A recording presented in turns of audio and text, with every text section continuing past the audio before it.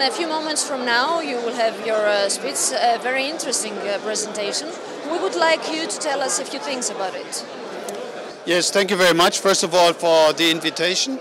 It's a, a talk about uh, new technologies in catheter ablation of atrial fibrillation.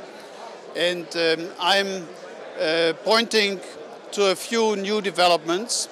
The number one is that we know that in patients with uh, paroxysmal fibrillation, we have a very good acute success rate, but a poor long-term success rate. And that's why we are looking into new technologies such as contact force catheter ablation. And using contact force, we can significantly uh, improve the long-term results.